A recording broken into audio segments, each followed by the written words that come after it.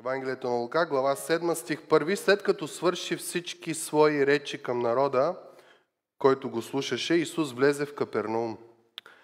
А на някой си стотник, слугата, който му беше мил, беше болен на умиране. И като чу за Исус, изпрати до него някои юдейски старейшини да го помолят да дойде и изцери слугата му. А те дойдоха при Исус и го молиха настоятелно, като казваха, той заслужава да направиш това за него. Защото обича нашия народ и той ни е построил синагогата. Докато Исус вървеше с тях и беше вече недалеч от къщата, стотникът изпрати до него приятели да му кажат, Господи, не си прави труд, защото не съм достоен да влезеш под покрива ми. Затова не сметнах себе си за достоен да дойда при Тебе. Кажи само дума и слугата ми ще оздравее. Защото аз съм човек подвластен, поставен под власт, имам подчинени на мене войници и казвам на един иди и той отива и на друг ела и идва и на слугата си направи това и той го прави. Като чу това, Исус му се почуди, обърна се и каза на вървящите след него, на вървящото след него множество, казвам ви, дори в Израел не съм намерил толкова вяра. И когато изпратените се върнаха в къщата, намериха слугата оздравял. Може да седнете, мили братя и сестри. Историята е интересна с това, че човек има такава вяра, която очудва Исус. В Евангелието на Марка има една история, където Исус се чудеше на тяхното неверие. Там горе-долу по-може да го разбереме, защото никой не е на този стандарт, който трябва да е. Но тук текста ни казва, че Исус се чуди, очуди се на, на вярата. И думата на, на гръцки не се чуди като странно нещо, ами чуди се с наслада. Това, което той вижда в този а, стотник. В процеса на разглеждане на Божието Слово ще разбереме няколко неща, които искам още от сега да ги отбележим. Бог приема всички по начина, по който Бог е определил да дойдат при Него. Това е много важно да го осъзнаем. Бог е много конкретен относно начина на живот, който трябва да живеем като християни. Да възлюбиш Господа Твоя Бог с цялото си естество, дух, душа, тяло, сила и воля и тия неща. Бог е много специфичен. Какво трябва да е отношението ти към Него? В този текст ще видим, че Господ е много специфичен как се отива до Бог. Не може както си искаш. Има определен начин, ние го знаем кой е начина. Нашия Господ и Спасител Исус Христос.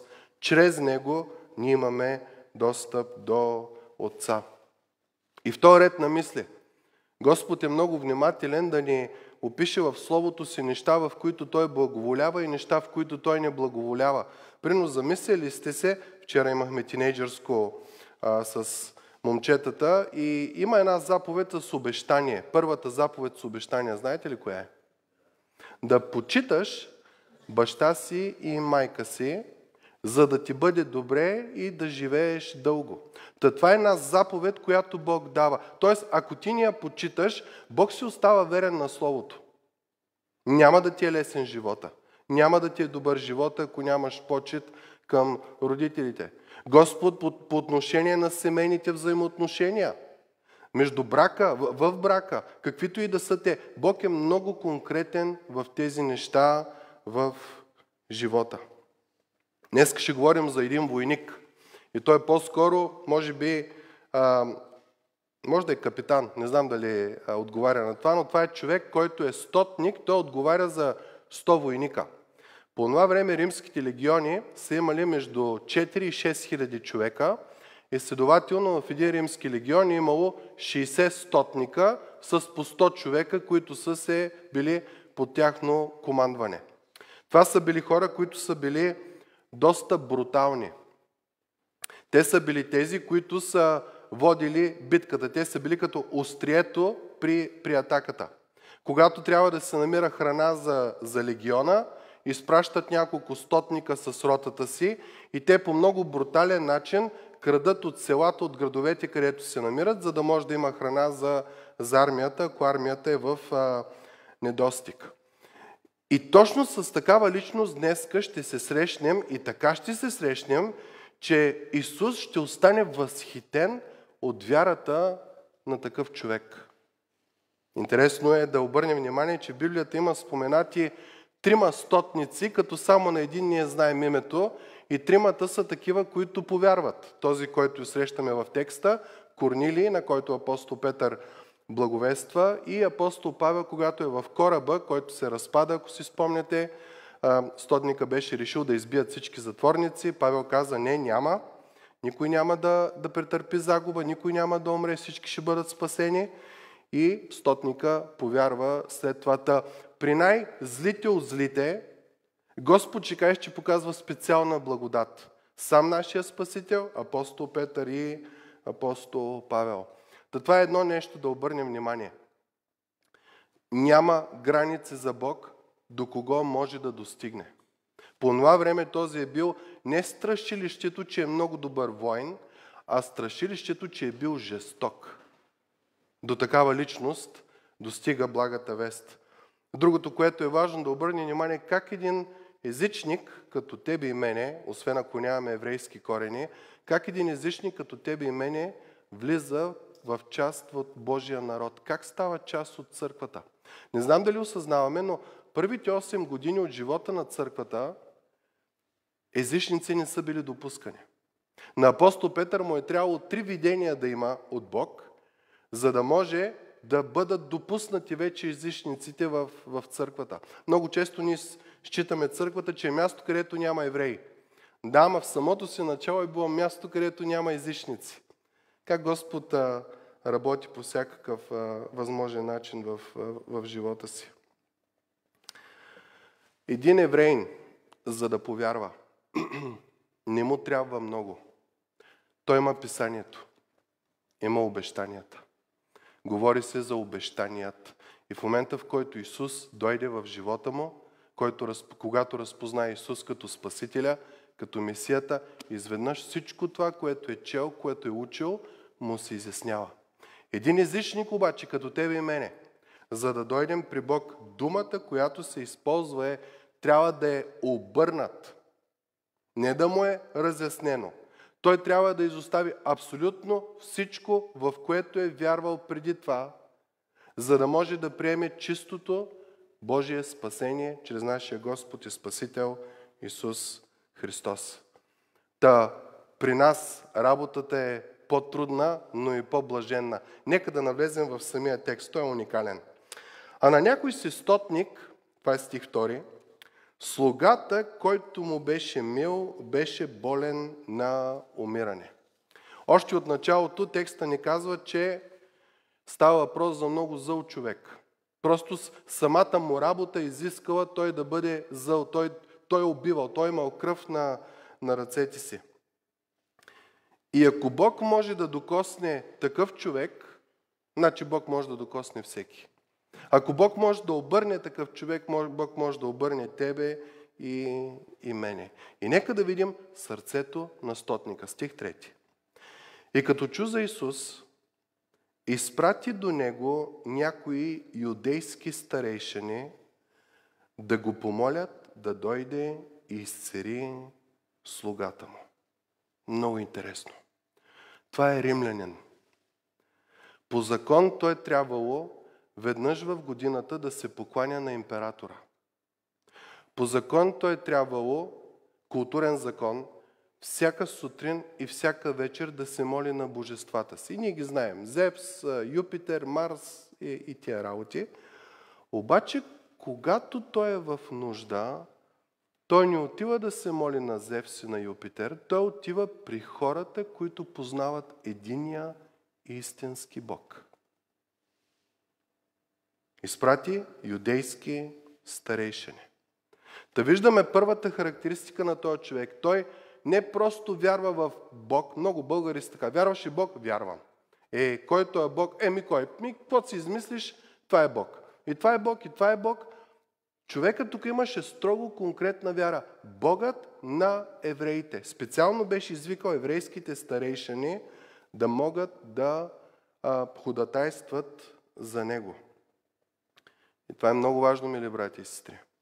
Защото Бог никога не казва, че можеш да вярваш в каквото си искаш и да добавиш Бог. Този е, е, стотник се бе отказал от целия пантеон от римски богове и бе отишъл единствено и само при Бога на евреите. И това става всеки път, когато благата вест достигне до езичник, до тебе и до мене. Ще ви дам няколко примери от Словото. В Солон, чуйте апостол Павел, как описва а, вярата на солоняните. Как сте се обърнали от идолите към Бога, за да служите на жив и истинен Бог и да очаквате Неговия Син от небесата, същия Исус, когато възкреси от мъртвите, който ни избавя от идващия гняз. За да повярва езичник, той трябва да се обърне. 180 градуса. Ако си вървял в тая посока, отиваш в корено противоположната. Твоята и моята вяра трябва да е такава. Ако ти си повярвал в Бог, ако ти изповядваш, че Той е единия истинен Бог, ако искаш Неговите благословения, ако искаш Неговата благодат и милост и спасение да бъде върху тебе, не може да го използваш като пожарогасител. Само когато има нужда и яко да ръстиш с пожарогасителя, да изгасиш всички проблеми, всички огньови в живота. Той трябва да стане твой Господ. Той трябва да стане твой Господар. Чуйте в Ефес какво става. И мнозина от повярвалите идваха и се изповядваха и разкриваха делата си. Също и мнозина от тези, които правеха магии, донасяха книгите си и ги изгаряха пред всички. Представете ли си, магията на магиосника, книгата на магиосника е била неговия поминък. Без нея той няма рецепти, няма заклинания, няма нищо. И цял живот, ако това му е било начинът, с който той си изкарвал хляба, той няма друго. Текста казва, идва без никакъв проблем и донасяха книгите си и ги изгаряха. Много често в нашия живот, мили брати, сестри, ние се покайваме за греховете си, но не ги изгаряме. Продължаваме да живеем с стари неща и не става сладко. И като видим, че се, като направим едно, второ, трето старо нещо и няма шамар, няма нещо от Бог, което да настресне, няма светкавица, няма грамотевица, когато това нещо стане, ние си казваме, о, значи Бог не е толкова строг, колкото аз си мисля. Напротив, на Бог му струваше кръвта на Неговия син, за да може ти и аз да, бъдеш, да бъдем спасени. Ние трябва да се откажем от абсолютно всичко, което е противно на Бог. Обърнете внимание тук, в, в Ефес какво става? И пресметнаха цената на тия книги за магии, поминъка на хората – и установиха, че беше 50 000 сребърника. Невероятна сума. Невероятна сума. Така Господното учение растеше силно и вземаше надмощие. Така Господ живее в твоя живот, расте силно и взема надмощие, когато се откажеш от абсолютно всяко нещо, което не е от Бог. Ако задържиш нещо, няма как Бог да дойде. Няма как Бог е джентълмен. Той няма да разбие вратите на твоя живот. Той иска от сърце. Защо? Защото първата заповед казва да възлюбиш. Не е да ти се сложи някакво копие на врата и трябва да вярваш в Бог. Не. Бог иска от любов. И от любов дава сина си без да си го питал. И разбира се, не можеш да го носиш като патерица да е само там да ми помага или като някакво украшение. Той трябва да стане абсолютно всичко в живота ти. Това стана с стотника. Не отиде при Зевс, не отиде при Юпитер, солоняните от всичко се отказаха и думата е много интересна. Обърнаха. Няма преместиха си погледа. Обърнаха, отвърнаха се от абсолютно всичко в стария си начин на живот и дойде радост и дойде надежда. Когато ефесяните оставиха абсолютно всичко и дори това, което е против Бог, но им беше нещо, което им изкарваше поминъка, когато и те се отказаха от Него и за огромна сума се казва, че е било Господното учение растеше силно и вземаше надмощие. И ако искате вкъщи си прочетете послание към ефесяните, каква благодат апостол Павел излива върху този народ. Какъв начин на благовестие има, има към тях. Та това виждаме първото нещо. За един езичник да повярва, като тебе и мене, това е езичник, човек, който не е еврейн. За да повярваш, ти трябва да търсиш само Бог и нищо друго. И когато търсиш Бог, Бог не трябва да е патерица, не трябва да е пожарогасител, не трябва да е помощно средство, трябва да е единственото ти нещо в твоя живот. Надеждата ти, единствената ти надежда в живота трябва да бъде Бог. Тръгнеш да имаш план Б, В и Г, свършил си. Защото Исус ще дойде в живота ти, но ще иска да го промени. Не само да се чувстваш добре, Той ще иска да те направи добър. Но знаете какво е възпитание. Когато сте непослушни деца и родителите искат да ви променят, и някой път има наказание. Някой път има дисциплина. Някой път е трудно и ти в момента, докато те наказват, хич не ти е приятно и роптаеш, но после ти осъзнаваш каква благодат е била. Аз си спомням, когато трябваше да уча английски, какви разправи бяха вкъщи, какви недоволства. Аз казвах, че те не ме обичат, че какво лошо отношение имат към мене като техен син и че няма любов и че няма това. Но сега дори им се карам, че не са ме накарали да науча още един език. Това е Божията благодат. Първо я усещаме в родителите си и най-вече усещаме в нашия Господ и Спасител. Та този човек няма друга надежда за него, освен Бога на Израел. И старейшините отиват при Исус и нека видим разговора, стих 4. А те дойдоха при Исус и го молеха настоятелно. Значи молеха и настоятелно, като казваха, той заслужава да направиш това за него, защото обича нашия народ и той ни е построил синагогата. Хм. Още нещо научаваме за този стотник. Синагогата по това време е била различна от храма. Храма е било мястото, където се извършила литургията. Там е било мястото, където си ходил, когато имал тези празници, които са празнували евреите. Синагогата е била ежедневното събиране или ежеседмичното събиране на хората в дадения район, в дадения град, където те общуват и се хранят. Там има и проповеди, има и четене на Словото. В храма тези работи ги няма. Там е литургичната част. Стотникът си е казал, той Бог е толкова уникален, аз трябва да, ние знаем от историята, че възстановява, не построява, възстановява синагогата. Т.е. тук трябва да се проповядва Божието Слово. Той не спираше, въпреки че беше този, който беше като, как да кажем, като а, опресителят им. Той беше той, който ги тормозеше от, от римската от римската власт. Другото, което е много интересно, стих 2, ако си спомняте, неговия слуга се беше разболял и той му беше, в един от преводите казва мил, друго казваше един, който много ценеше. Ако знаете нещо за робовладелството по това време, ще видите, че последната личност, която ти е мил и който цениш, е робът. Римляните са били страшно известни с варварското си отношение към робите. Имаме случаи, където един роб поднася чаша с вода на господаря си и без да иска излива водата и господаря заповядва пред очите му да го убият от бой. Буквално да го убият. Така да го убият, че да го убият. Такива, такива жестокости. А спомняте ли си стотника? По принцип неговото задължение в армията беше да бъде зъл.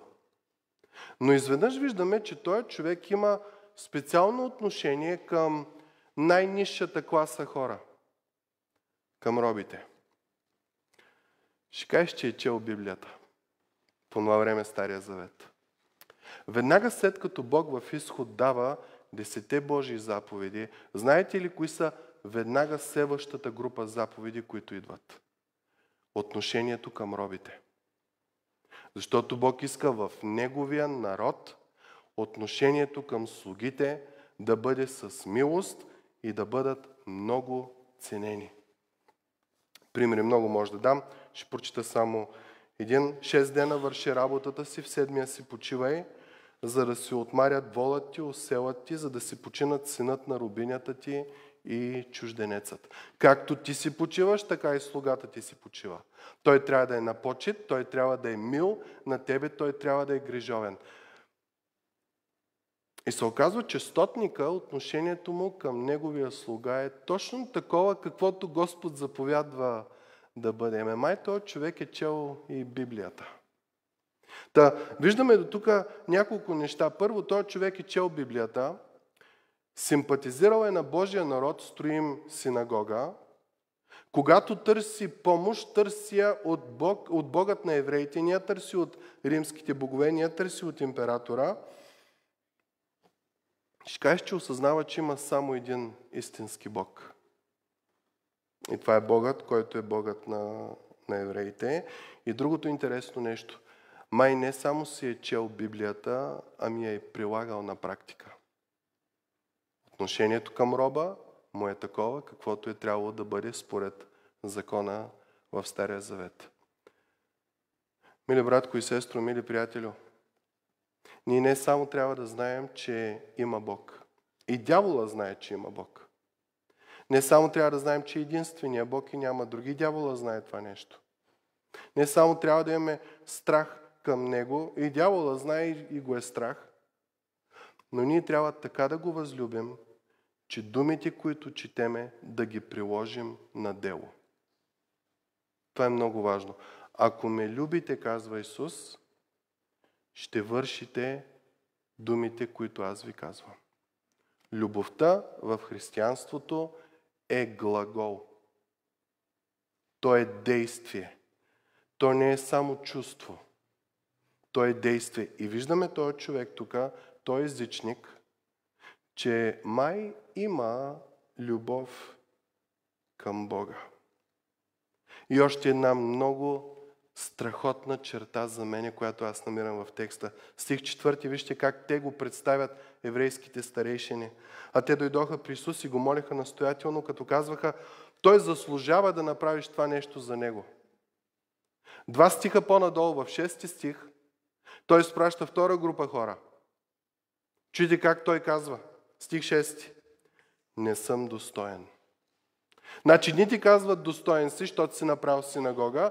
Той казва, не съм достоен да бъда изобщо в твоето присъствие. Което означава нещо. Той човек е осъзнал, че чрез добри дела не можеш да бъдеш достоен пред Бог. Трябва да има нещо, което предхожда тия добри дела. Кое е то? Смирение и вяра. Точно така. А кой е човека в Библията, който беше оправдан възоснова на неговата вяра, а не толкова възоснова на неговите дела? Аврам. Какво означава това? Има вероятност този стотник да има Аврамова вяра. Чрез начина на своето си смирение пред Господа, да осъзнае, че е грешен, да осъзнае, че и 20 синагоги да построи и каквото и да направи, той няма да бъде никога достоен пред Господа, независимо какво хората казват. Между другото, живеем в свят, където си изграждаме едни храмчета. Колкото по-сме го изградили, по-хубаво, толкова повече си мислим, че Господ ще има благоволение над нас. Ама Той вече е дал сина си за нас. С какво може да го впечатлиме? Всичко, което имаме, ни е дадено от Него. Единственото, с което можем да му се отблагодариме, е като да показваме любов към Него. И начина по който Той показва милостта си, благостта си, любовта си, предизвиква Твоето и моето сърце да го възлюбим. Така ни е направил. Няма какво друго. Но ако ти не познаваш любовта му, ако не познаваш милостта му, ако не познаваш благостта му, няма как да го възлюбиш. Ти винаги ще имаш едно на ум. Винаги ще си мислиш, че те манипулира, когато той иска да те увери в любовта си. Винаги си мислиш, че нещо, нещата са прекалено хубави да са хубави. Как така Твореца на целия свят ще даде сина си за мене? И не само това, Ами ще иска аз да бъда подобен на сина му. Представете ли си каква благодат Господ излива върху нас? Не само да ти извади от кълта, от тинята на живота, където си не до гуша, ами над гушата, да ти извади, да ти вдъхне нов живот, да вложи святия си дух в тебе, но целта не е само това да се изправиш, да се ступаш, да кажеш мерси и да продължиш. Той иска в тебе да се изгради Христо подобен характер. В живота ти да има радост, любов, благост, кротост, смирение, себеобоздание от Бог. Защото тогава няма да е на сила. Защото ако не е от Бог, ти ще се насилваш, ще се насилиш и пет години може да изкараш така да, да се правиш на, на християнина, ама не става. Без Божието присъствие на Божия святи дух в тебе, ти не можеш да живееш богоподобен живот, христоподобен живот, богоугоден живот. Трябва вяра. Вяра, но тя започва с смирение. Не съм достоен да влезеш под покрива ми. Страхотно дълбоко послание има този текст, мили братя и сестри. Та, виждаме, стотника до този момент има почет към Божието Слово, чете го и го изпълнява. До този момент той има почет към Божия народ, построиме синагога. До този момент той има а, почет към Бога, не търси помощ от друга ден, ми отива единствено при Бога на, на израелтяните, въпреки че има сигурно 50 Бога, на които може да се моли. И е смирен. И има вяра, която е като Аврамовата вяра, бащата на вярващите. Обърнете внимание за начина по който той се отнася към Исус, стих 6. Докато Исус вървеше с тях и беше вече недалеч от къщата, стотникът изпрати до него приятели да му кажат Господи, не си прави труда, защото не съм достоен да влезеш под покрива. Кажи само дума. Представете ли си колко велик е бил Исус за този стотник? А той е бил над 100 човека. Той знае какво е да ръководиш. Той знае какво да имаш власт. И сигурно, понеже има 100 силни войника, които са обучени в битка от легионите, които са там, той каквото си поиска, стига да му позволи Римската империя, може да има. Но изведнъж той каза, има някой по-велик от мене. И там меч не може да влезе. И там сила не може да влезе. Там се влиза чрез смирение. И текста продължава и казва, аз имам власт и мога да кажа на той иди и той отива и не ходи и не ходи, но ти имаш по-голяма власт от моята. Моята власт е над хора. Твоята власт е и над хора, и над болести. Моля те, една дума и болестта изчезва. Моля те за това нещо. От начина по който стотникът говори, може да направим заключение, че той е имал страшно високо мнение за Исус. Три са нещата, на които може да обърне внимание, че той е с божествен происход. Кой може да изцерява с една дума? Второто, което разбираме е, че той е превъзходен. И третото е, че е по-велик. Аз управлявам, ама ти си над мене. Въпросът, който си задаваме, Исус ще приема ли такъв човек? Ще отговори ли на, на молитвата му? Да, от една страна, по-човешки този човек е езичник, римлянин, военен и стотник от военните. От друга страна, този човек има странна вяра, като еврейската. Има един Бог, има Слово, което той го чете и го изпълнява. Той разбира, че това е Бог, който очаква да се отнасяме с любов дори към слугите си, към робите си. И е Бог, който ни вижда като грешни, та е хубаво и ние да погледнем себе си като грешни. И е Бог, който показва милост. Въпреки нашето недостоинство и разбират, че този, с който говори, е невероятен. Няма нужда да идваш. Аз не съм достоен. Една дума и е достатъчно.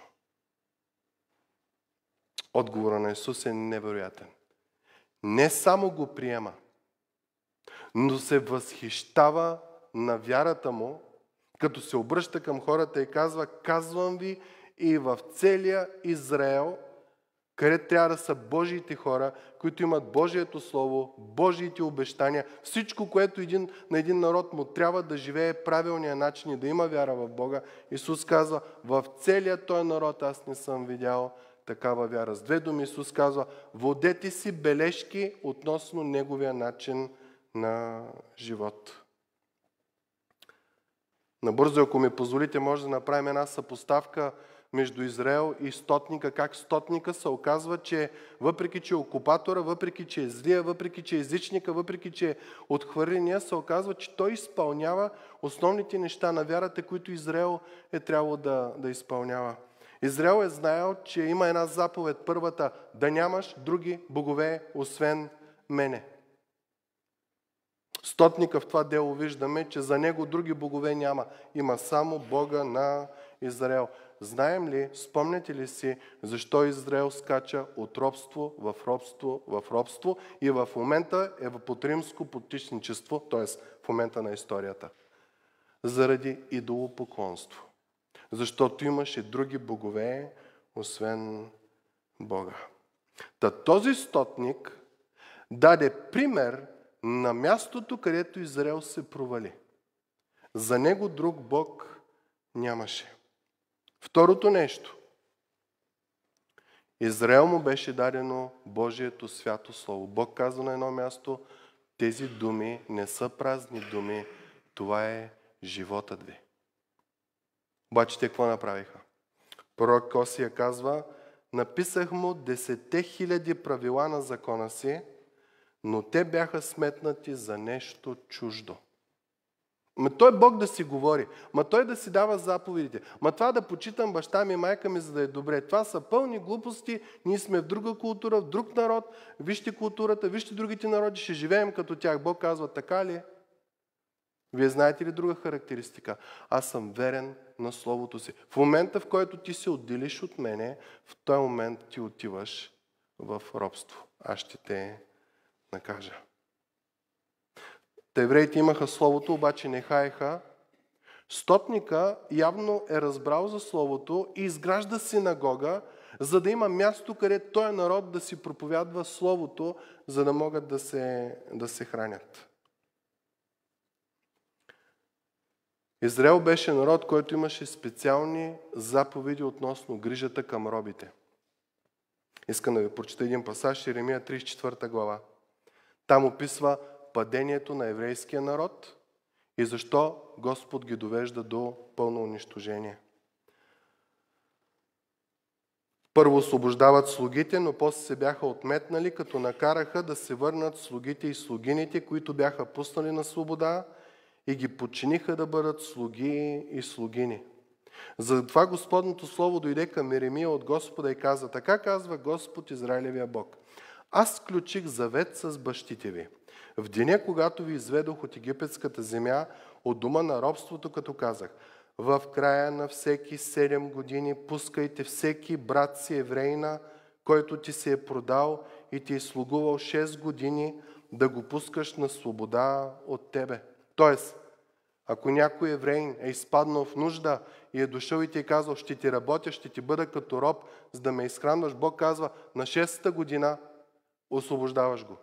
Каквото и да става, ти го освобождаваш. Обаче казва Бог, но бащите ви не ме послушаха, нито преклониха ухото си. И вие сега се бяхте обърнали и бяхте извършили това, което е право пред мене, като прогласихте всеки освобождение на ближния си и бяхте сключили завет пред мене в дома, който се нарича с моето име, но се отметнахте. Значи идва седмата година, те освобождават робите, обаче изведнъж осъзнават, че това не е финансово изгодно, няма кой да им работи. И се отмятат, им казват, върнете се. И Бог каза, осквернихте името ми. Вие бяхте роби, аз ви освободих и никога не във върнах в робство. Това е моето име. Аз съм Бог, който освобождава. И вие сте народ на Бог, който освобождава, обаче вие си играете всякакви глупости с ближния си. Вие осквернявате моето име, като накарахте всеки слугата си и всеки слугинята си, които бяхте пуснали на свобода по волята им, да се върнат и ги подчинихте да бъдат слуги и слугини. Затова така казва Господ, вие не ме послушахте да прогласите освобождение всеки на брат си и всеки на ближния си. Ето аз прогласявам против вас свобода на меч, мор и глад и ще ви предам да бъдете тласкани по всички царства на света. Оказва се, че стотника е по-милостив към слугата си, отколкото евреите в Божия закон. Евреите по това време и до ден днешен вярват, че начина по който се достига до Бог е като изпълняваш закона. Чрез дела. Стотникът го осъзна и ние го знаем днеска, че не чрез дела, а чрез вяра. За да не се похвали никой. Той казва, аз съм недостоен да дойдеш в живота ми. И апостол Павел казва, не е юдейн онзи, който външно е такъв, нито е обрязване онова, което е външно в плата, а юдейн е този, който е такъв вътрешно. А обрязване е това, което е на сърцето, в дух, а не в буква, чиято похвала не от човеците, а от Бога. Мили братко и сестро, твоето сърце било ли е обрязано? Обрязването е момента, в който се маха една от най-мръсните части от, от мъжа и това е един белек на това, че ти си свят, ти си чист за Господа. Твоето сърце е обрязано ли? Премахнал ли си това, което знаеш, че ти пречи да имаш чиста и жива връзка с Господа? Защото искам да ви кажа, Словото предупреждава, Бог не е будала, че да се подиграваме с Него. Каквото посеем, такова ще поженем.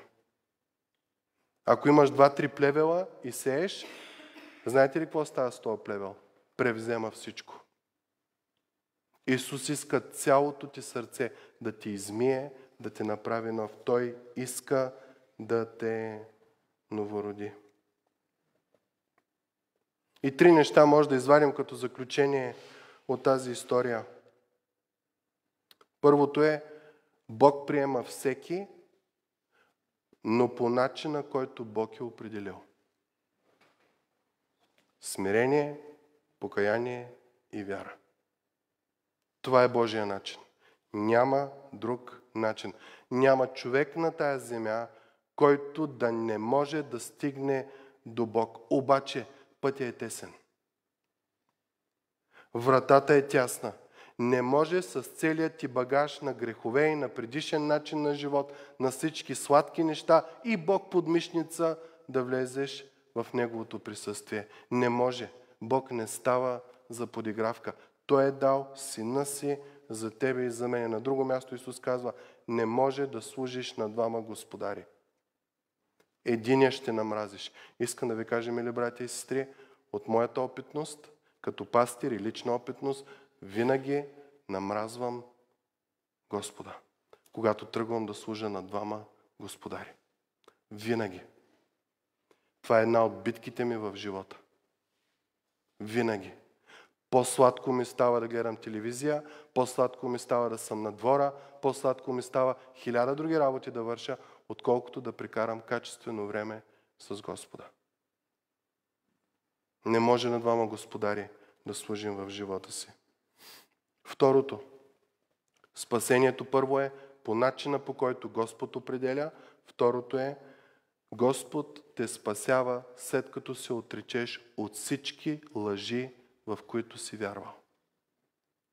Това е много важно да го осъзнаем. Когато се покаеш от греховете си, тук идва втората част, трябва да осъзнаеш, че си грешен. Като отидеш на улица да говориш, грешен ли си? Грешен съм. Ще се покаеш ли за греховете? Ще се покая. Утре ще ги правиш ли? Що да не? Това не е покаяние. Тук говорим за вътрешна промяна на цялото ни естество. Покаянието е Божие дело. Святия Дух идва и ни открива обвиняване за нашия грях. И ако ние сме чувствителни към призива на Святия Дух, че сме грешни, нашето сърце се съкрушава. И в момента, в който е съкрушено, второто действие на Святия Дух е да издигне Исус като Твой Спасител и Твой Цар. И ти с радост да го прегърнеш и да го приемеш. Но ако кажеш на Святия Дух, гледай си работата. Аз си живея по моя си начин, по моите си неща, имам си мои тертипи и неща, с които не искам да свърша. Не може така. Бог дава цялото спасение като Негово дело. Ние просто трябва да го пожелаем. И третото нещо от историята. Не знам дали обърнахте внимание, тя е пророческа. Стотника никога не видя Исус. Обърнахте ли внимание? Исус беше много близко до къщата му. Така казва текста. Но той прати приятели и каза, не съм достоен. И въпреки това, Исус го похвали за вярата му. Този текст е за тебе и за мене. Ние също не сме видяли Господа в плът. Апостол Петър, чуйте как описва християните. Когато обичате, без да сте го видели. В когото, като вярвате, без сега да го виждате, радвате се с неизказана и преславна радост, като получавате следствието на вярата си, спасението на душите си. Представяте ли си каква благодат има за тебе и за мене? Исус каза на Тома, Тома, добре, видяма и повярва. Обаче по-блажен е той, който без да види, повярва. Много често ние сме като юдеина, който е на пътя от притчата за добрия самарянин. Прибит, смачкан, сдухан, на умиране и изведнъж се събужда на прекрасно място. Раните привързани, корема нахранен, на хубаво място и сигурно е питал а, или той, който е бил на страноприемницата, какво стана? Той каза ми, един те спаси и ти превърза раните и плати всичко за тебе. И се тръгна, но ще се върне. Това е реалността в твоя и в моя живот, мили братко и сестро. Та, като стотника ли сме? Има ли нещо днеска в нашия живот, което ни кара Бог да не е на 100% наш господар? Има ли нещо друго, което диктува нашите страсти, нашите желания? Има ли нещо, което кара Бог да е на второ място? Ама ако е на второ е добре, ми ако е на пето място, с Бог шега не биваме ли, брати и сестри? Днеска Исус може ли да се възхити на вашата вяра? Като основните неща бяха няма друг Бог, освен Той Бог. Няма друг Господар в живота. Има Слово, което аз го чета и аз го изпълнявам. И аз съм смирен пред Него. И вярвам с цялото си сърце и с цялата си душа. И съм го възлюбил. Ако го има, ти си като стотника. Безимен в историята – но Бог те знае по име. Блаженство сред блаженство. Ако не си като стотника, не дей чака. Не знаеш кога може да дойде края на твоя живот. Не знаеш какво може да се случи. Час по-скоро. Падни на колене у вас. Моли се, кажи, Господи, прости ми. Прости ми, че ти не си господарят в моя живот. Прости ми, Господи, че съм те носил на картинка, на иконка, на кръщена, на някъде, но вътре в сърцето ми не си бил ти, а е било всяко друго нещо. Поискай прошка. И Господ е верен и праведен и да прости и да те очисти. И като ти очисти, ставаш ново роден, нов човек. Господа ни благослови.